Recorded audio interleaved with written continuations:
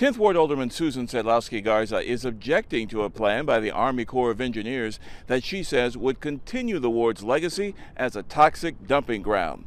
The Army Corps wants to dump materials dredged from the Calumet River at one of five sites identified in the 10th Ward.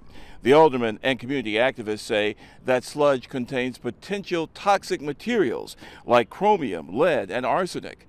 The Army Corps says the plan is just preliminary, but there is another community meeting scheduled in the 10th Ward tonight to discuss the controversial plan.